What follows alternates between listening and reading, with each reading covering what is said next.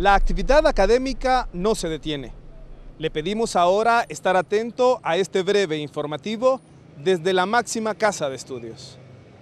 La rectora Julieta Castellanos recibió a un grupo de estudiantes de medicina, con quien sostuvo una reunión cuyo tema fue el salario beca que reciben por su servicio social.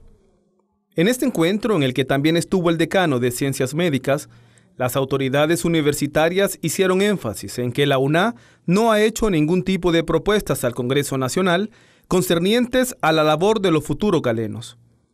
Los estudiantes temen que con la nueva ley que pretende aprobar el legislativo, se reduzca el presupuesto para el pago de las becas que otorga el gobierno, por lo que han llevado a cabo diferentes manifestaciones contra la medida. La democracia en el siglo XXI, herencia y o proyecto. Este fue el tema de la conferencia impartida por el director del Observatorio Mundial de los Derechos Humanos, doctor Jean-Paul Roll, quien compartió sus experiencias con los asistentes a este evento, llevado a cabo bajo la coordinación de la Facultad de Humanidades y Artes de la UNA la Embajada de Francia, la Alianza Francesa y la Asociación de Profesores de Francés de Honduras. El doctor Jean-Louis Roy es diplomático, periodista y escritor.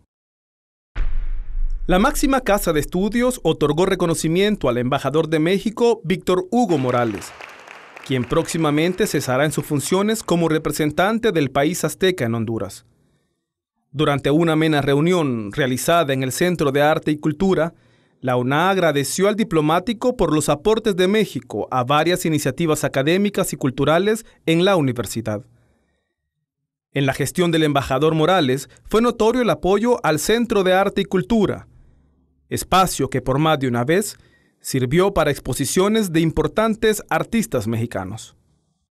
La Vicerrectoría de Orientación y Asuntos Estudiantiles inauguró el taller Certificación en Vendaje Neuromuscular y Férulas Sintéticas, en el cual participan médicos en medicina física y rehabilitación, fisioterapeutas, licenciados en educación física y estudiantes de estas diferentes áreas. En este taller se imparte la técnica del vendaje neuromuscular, la que se basa en el poder de autosanación natural del cuerpo. Consiste en cintas de algodón con un adhesivo acrílico usadas para tratar lesiones de atletas y otros trastornos físicos.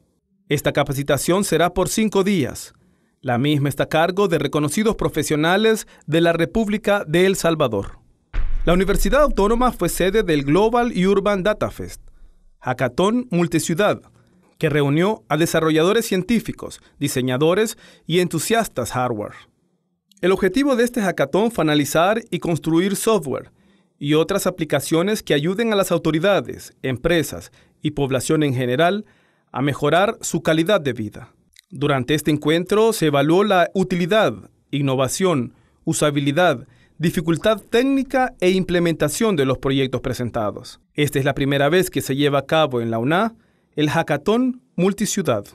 La banda de los Supremos Poderes fue la encargada de animar la primera tardeada musical, coordinada por el Centro de Arte y Cultura de la UNA y que se llevó a cabo en el Parque La Libertad de Comayagüela.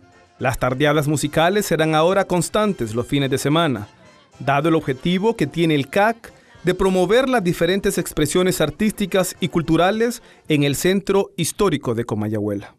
En UTV le mantenemos al día del quehacer académico, deportivo y cultural en la Universidad Nacional Autónoma de Honduras. Gracias por seguir con nosotros.